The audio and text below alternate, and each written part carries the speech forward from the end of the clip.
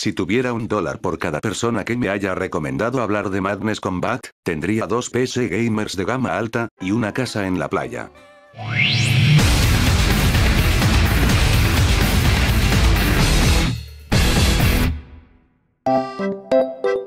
Luego de una larga espera, podemos por fin comenzar a comentar respecto a una de las series más populares que ha pisado internet, Madness Combat. Proveniente de la legendaria web multimedia Newgrounds, es una serie que ha sido bastante, bastante, pero bastante comentada por ustedes para que la comentemos en un vídeo. Y bueno, como ustedes mandan en este canal, no tengo más opción. Ya ustedes deben saber de qué trata, así que me ahorro el describir de qué se trata para no alargar más esta presentación. Si tomamos todas las partes existentes más los créditos iniciales y finales de Madness Combat, nos daría un aproximado de una hora y diez minutos, lo cual sería un gran dolor en el culo de editar para mí, así que ahora lo digo, todo lo que vaya a describir de la historia de aquí en adelante, será de forma bastante resumida. Algo así.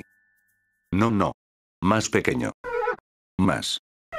Un poco más. Ni tanto. Así. Comencemos. Todo comienza cuando un per... Momento. ¿Qué es eso que oigo? ¿Es, es acaso música con copyright? Mierda, ¿ahora qué hago? Bueno, tendré que añadirle un filtro feo para que no lo detecte el jodido sistema de YouTube. En fin, como decía, todo comienza cuando este personaje random está junto a su radio oyendo aparentemente su canción favorita, y este otro personaje, que según investigué es Hank, nuestro protagonista, le dice algo como... Bueno, no le dice nada, simplemente le da un putazo en la cabeza. Y este, que no desayunó ese día supongo, cae desmayado y ahí queda.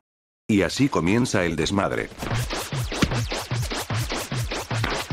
¿Y este men de aquí atrás se quedará bailando todo el rato o qué? ¿Sabes? Bien pudiste solamente pedirle cambiar la canción. Olvídalo, no dije nada.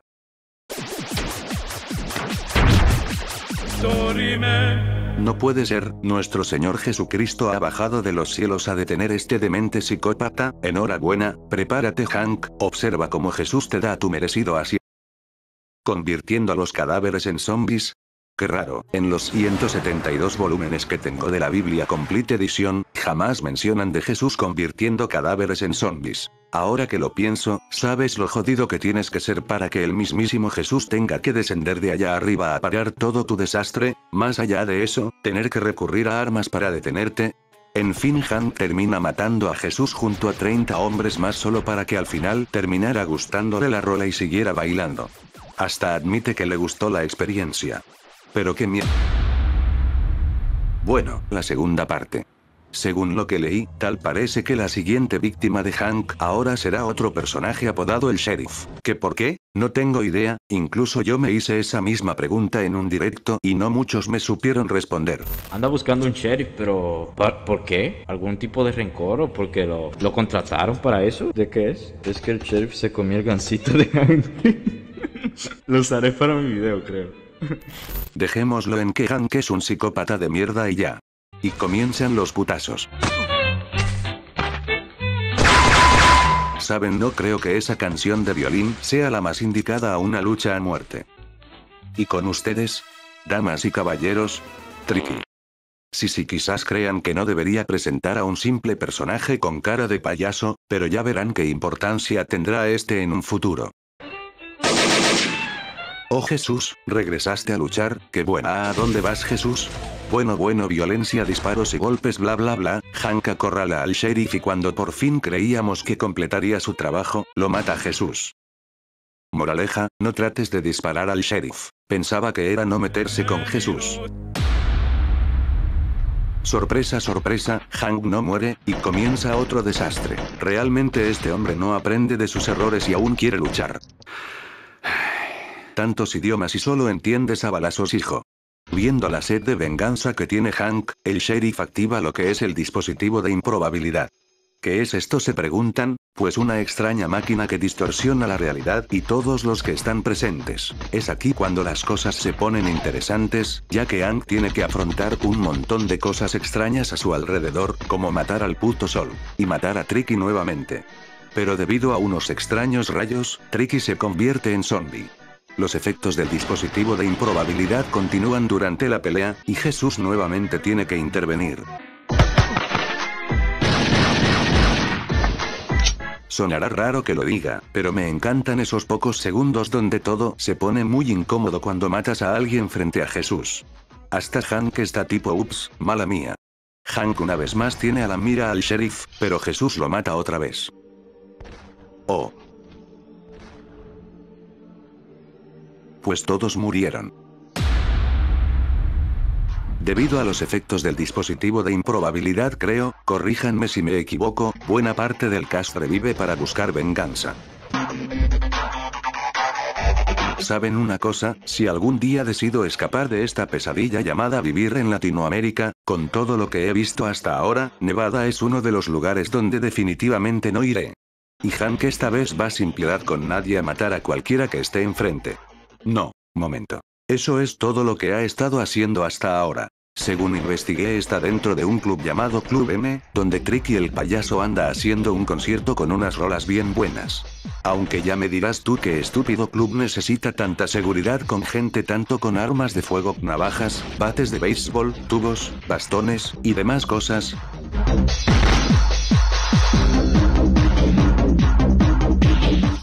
Tricky debe ser un artista increíble, tiene unos fanáticos muy fieles que lo defienden a muerte. Hank está a punto de matar a Tricky, pero paren todo pecadores, llegó por quien lloraban, así es nuestro Señor Jesucristo viene a arreglar el desastre, creando otro a su paso, y terminando con todos muriendo otra vez.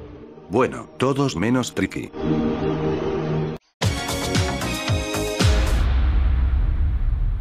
Con un nuevo loot, Hank, por cuarta vez creo, entra a una agencia que se hace llamar la AHW, o la Agencia contra Hank Wimbledon. ¿Ves? Ahora no solo Jesús quiere entrarte a madrazos, sino que ya tienes toda una agencia dispuesta a detener tus pendejadas. Recapacita ya Hank.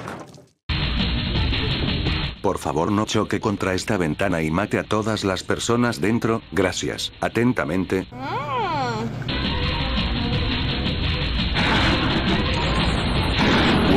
Jesús ya no se va con rodeos, va directamente con rabia contra Hank a matarlo. Golpes y más golpes y Jesús pierde de vista a Hank, pero es encontrado por Tricky, quien se ve corrompido por el dispositivo de improbabilidad, lo cual lo hace enloquecer y extremadamente fuerte. Matando a Jesús, y a Hank a su paso, el payaso este le cortan la cabeza y no muere en absoluto.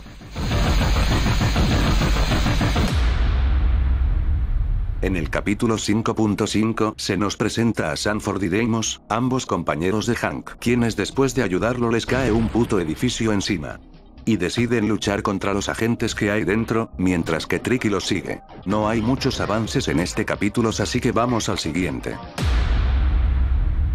Hank de verdad, de verdad, pero de verdad se niega a morir, y ahora todo desfigurado, con un look bastante cool pero algo creepy, anda a buscar a ese payaso para matarlo. Veo que mientras pasan los capítulos la animación mejora en muchos aspectos, pero vaya que me es imposible comentar todos los disparos y golpes que estos tipos se dan. Ustedes disculpen. Tricky el payaso, que ahora es conductor de tren, decide luchar otra vez con Hank, mostrando nuevos poderes obtenidos debido al dispositivo de improbabilidad.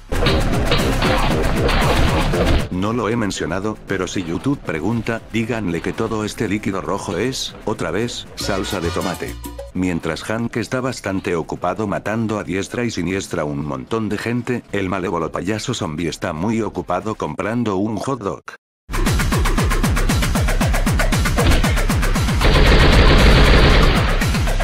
Ya ni comer respetan.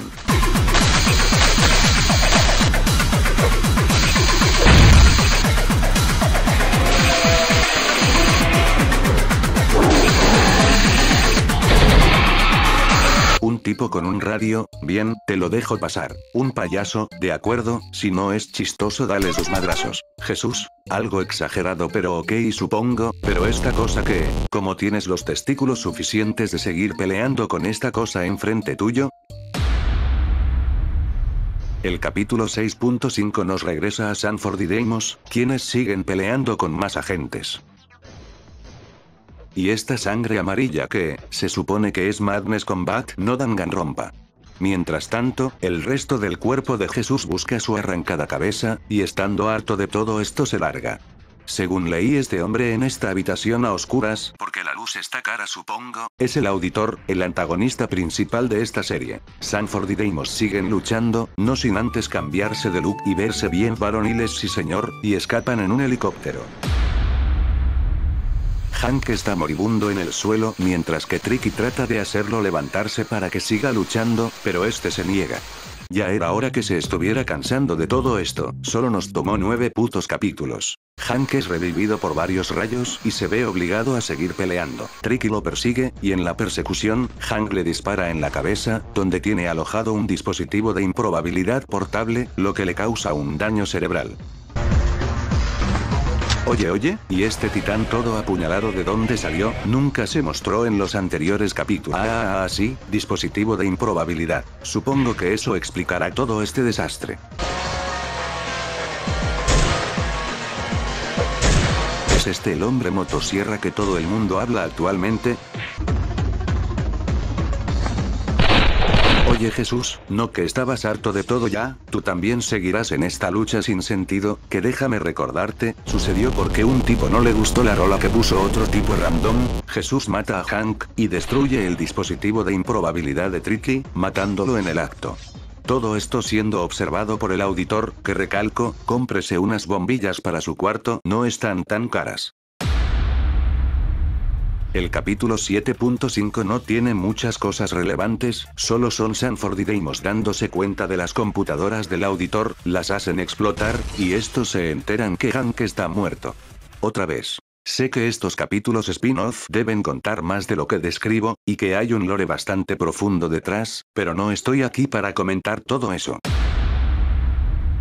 El capítulo 8 comienza con Jesús matando a personas. Lo que lo han hecho pasar al pobre para llegar a ese punto. Mientras tanto, el auditor, infecta a Jesús de, no sé, coronavirus o algo, y al ver que Jesús está ocasionando problemas, decide ir por su cuenta a arreglar todo hablando civilizadamente con una charla.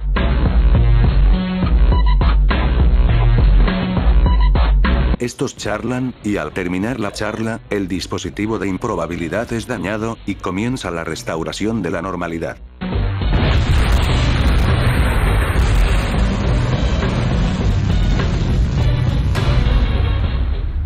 Sanford y Deimos van al rescate de Hank, para devolver aguanta hombre, que no ves que está muerto el tipo, más respeto por favor. Mientras, el auditor, luego de haberle robado la aureola a Jesús dándole el no sé, poderes sexuales o algo así. Oye, no todo eso es cierto. Le da vida a uno de sus Magians. Sanford y Deimos llegan al lugar donde pueden revivir a Hank, Deimos lo tira a la máquina, pero este es asesinado. Las cosas se veían relativamente mal, el auditor había llegado a la escena junto a su Magagent, pero no contaron que Hank reviviese ahora bien mamadísimo con un brazo mutante. Sin embargo, esto no le agrada al auditor, quien absorbe todos los cuerpos de ahí para enfrentarse a los sobrevivientes. En el capítulo 9.5 se nos muestra el proceso que pasó Hank para revivir, y procedemos a... Más peleas. Saben, como espectador es normal que estas peleas no aburran a la gente, después de todo, es una de las razones por la cual la gente adora esta serie, pero como creador de contenido, se me es difícil describir o comentar algo respecto a ellas. ¿Quieren un ejemplo? Wow, le dio un balazo. Jajajaja X de X de golpes. Demonios es mucha sangre. Impresionante.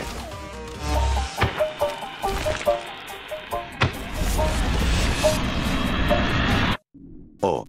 Bueno, tal parece que solo es la primera parte. Ya en la pelea de Hank contra el auditor, este es imposible de ser golpeado o lastimado. El auditor escapa, y Hank y Deimos entran donde se fue. El sistema se sobrecalienta, no no es lo que piensan marranos, y el auditor sigue absorbiendo cuerpos, y cuando este llega a absorber a Tricky, este parece tomar control del auditor. Pasando a lo que es, por el momento, el último capítulo de la serie.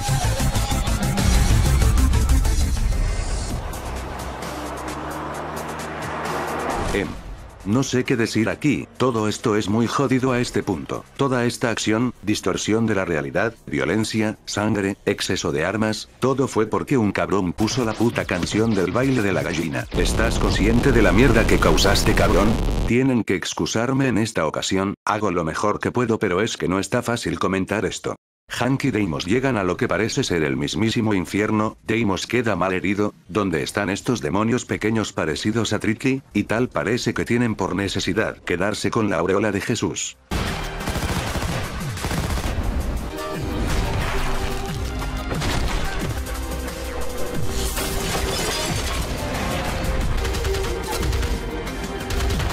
Esto ya no es divertido, pensaba que era simplemente una serie de putazos a lo random y payasos chistosos, ¿dónde está Dios no mamen? Todo lo que veo aquí es el jodido apocalipsis. Tengo miedo, alguien llame a mi mamá o a un psiquiatra, ya no aguanto comentar.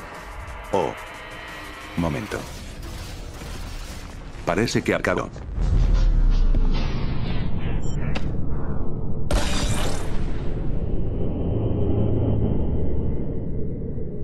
¿Es todo? ¿Qué final tan agridulce? En la wiki muestra que el capítulo 12 aún no sale porque está en desarrollo junto a la parte punto .5, donde el mismo creador describe que será algo bien raro. No creo que tenga la suficiente sanidad mental para aguantar más. No me confundan, me gusta Madness Combat, pero comentarlo ha sido de las tareas más pesadas y difíciles que he tenido en toda mi carrera de youtuber. Pero bueno, ya que estamos aquí supongo que cuando acabe todo este combate de locura podemos hacer una segunda parte. Si no es que para ese tiempo estoy en un jodido manicomio o algo. La verdad es que la serie es una montaña rusa en su desarrollo de historias, un ejemplo de lo jodido que puede ser un efecto mariposa de algo tan simple a algo tan extraño y digno de las peores pesadillas imaginables. Sin embargo, es una serie que ha sabido atrapar a una muy buena parte de la gente por esos elementos y pistas que ha dejado durante años, con una fanaticada enorme que solo va en aumento. Para finalizar, hay algo que esta serie nos ha enseñado a todos, y es que nunca pongan el baile de la gallina en un parque.